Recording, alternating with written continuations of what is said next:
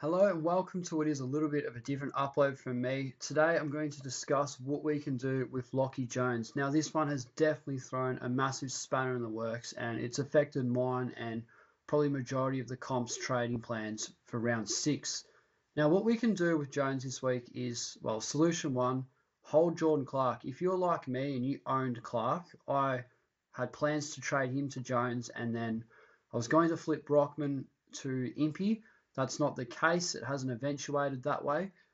So Clark plays the first game of the Saturday against West Coast. I think he plays at about 1:45 p.m. So if the teams come out maybe tonight or tomorrow, we might have a little bit of a read on whether or not we can hold him or trade him. If he's named, I plan on holding him just for the time being to fill in the void that could result in a donut in the back line, and I do not want that one bit. So, yeah, it doesn't seem logical. He was dropped last week, but not completely. It's almost like Chris Scott thought, no, we're going to drop this bloke from the side, but then he turned out to be a medical sub, which affected plenty of plenty of blokes' loopholes. And yeah, that wasn't really was just one of those situations. What do you do? So I think Clark returns this week. Personally, I wouldn't be surprised if he made an appearance in that Geelong side this Saturday. We're going to have to wait and see. Now, I'm not 100% sure when the teams are going to come out just because of the longer turnaround. We're so used to having football lockout on Thursday. That's not the case. So, what does that mean for our team announcements? I'm not 100% sure. So, my plans for that are to wait uh, until I do anything until Saturday morning. So luckily I'm not trading in any Giants or Dogs players this week or out for that matter. So I can hold off on my trading until Saturday morning and assess the situation from there.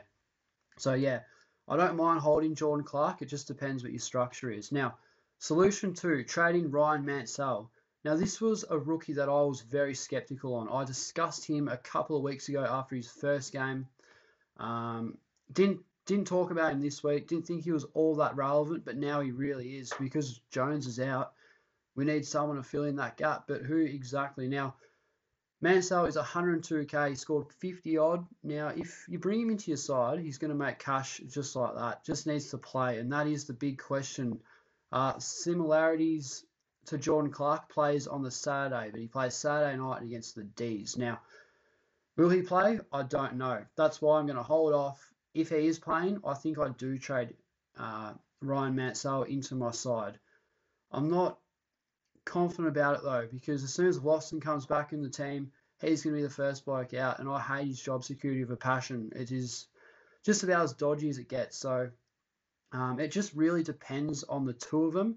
Uh, they're probably my two favourite options at this point in time. Um, so yeah, if Clark's named, uh, I'd probably hold him personally and just hold off trades for one week. And if Mansell's named, uh, probably go Mansell. But if they're both named, we just have to wait and see how we go. But um, my advice for this would to not trade or lock anything in until Saturday morning. It depends if you have plans to trade in Macrae or or Bontempelli or someone that's in reasonable form that's playing Friday night that is a bit of a different situation. You might be able to hold off that until next week. So, yeah, advice for that is don't trade until Saturday morning until we have a little bit of a better read on what to do with our side. Now, solution three, trading Zach Reid. Do I like this solution? Absolutely not. I'm not a big fan of Reid. Um, I like him as a player. He's, he's a great player, but not a super coach friendly role. He's a lockdown defender, and his game against Brisbane I thought was very panicky. He gave away a couple of goals. I saw it right there and then, uh, which resulted in a soccer goal. Uh, one that he could have just rushed through. And yeah, I don't think he's AFL ready as of yet. And yeah, in terms of his role, you probably compare him a little bit to a Jerry McGovern or Harris Andrews type player, lockdown defender. Going to be a gun, I think. And or here's one, Fischer McAsey, one of those sort of, yeah, real key defenders. Going to be a good player, but not going to get the points. Unfortunately, he's 166k, so he's priced rather awkwardly for a rookie. Now, I think his job security is actually not too bad. I think he plays for at least two or three weeks. It all depends with what they want to do with him and Ridley.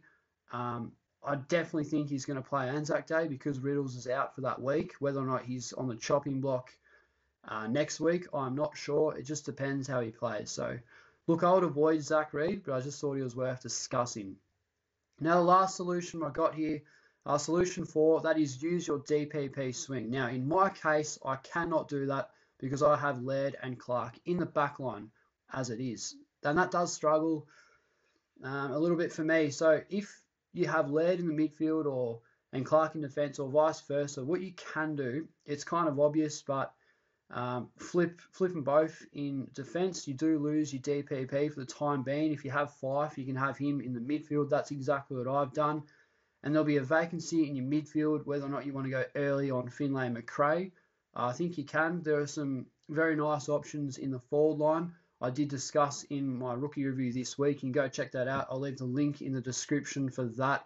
Uh, you got Jai Farrar and R2 Bosanvolaki, who look, they do look like really good options, but that's not really the point. We need defender rookies, and we're not getting them. So, yeah, my take on that is to just hold off until Saturday morning, uh, assess it from there. I know it's quite daunting. I woke up with a little bit of a fright.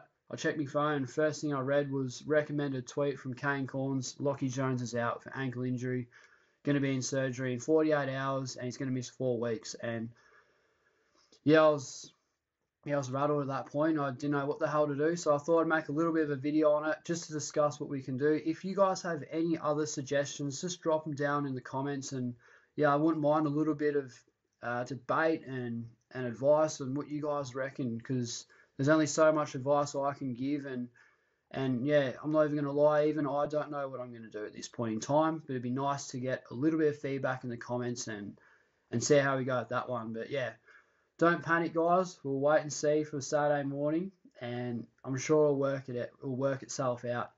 Another thing is we can hope that Highmore gets a gig. Oh, it's such a a risky one because he plays the last game on Sunday. I'm pretty sure, so he's he's we're not going to know whether or not he's named until like Saturday night, and it'll be yeah too little, too late at that point. So we can't rely on that. Just having as a, as an emergency, and if you have Ridley, just have him on the bench kind of thing. So yeah, that's just about it for me, guys. Um, yeah, let me know what you guys reckon of the video, and yep, we'll see you guys in the next one.